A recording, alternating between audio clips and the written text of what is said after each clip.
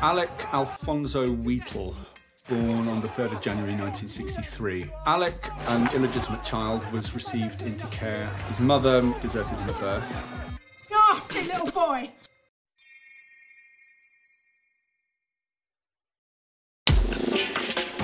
Action!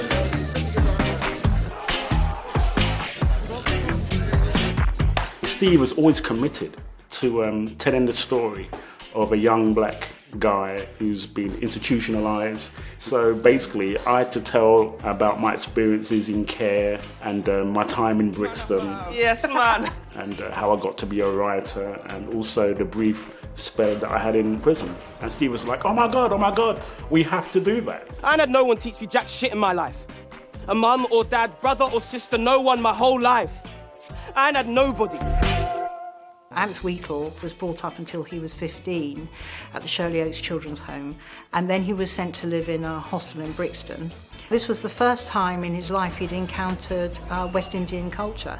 He was black, but he was brought up in his children's home and taught nothing about his background or his culture.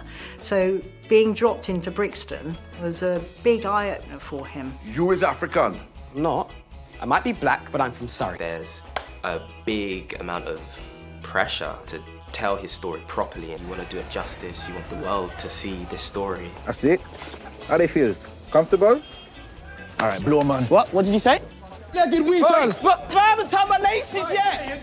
Dennis's storyline is quite interesting because he's just the joker of the story, really. He's just a good guy and he just makes everybody just feel good around him.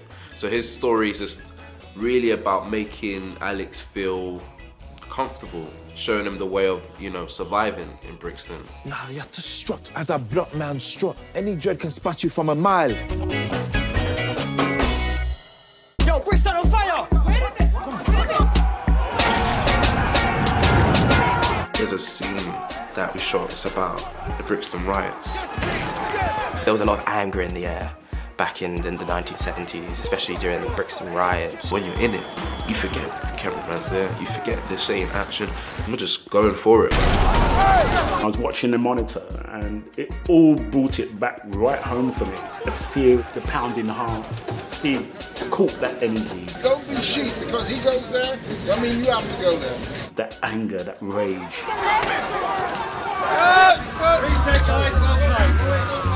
During the Brixton uprising, he was arrested for looting and sent to prison. Facing a prison sentence at the age of 18 was the first time he'd had to come to terms with himself. And he found himself sharing a prison cell with a middle aged Rastafarian guy who took it upon himself to educate this young boy. There's plenty of tribulations and ways for dealing with them things. And the education me can give that is your key. My character, Simeon, Alex stumbles across him in prison. Simeon has a love of reading. Education, Alex. Therefore, passes that knowledge on to the youth, being Alex, and um, helps him get his life back on track, I would say. Start by reading. That will turn your life around.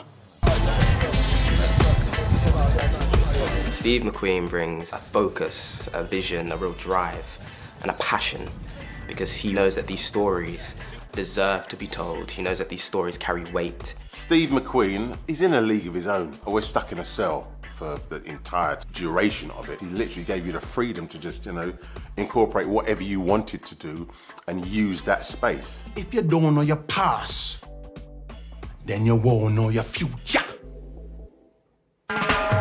Steve is making our narratives important to the fabric of the society.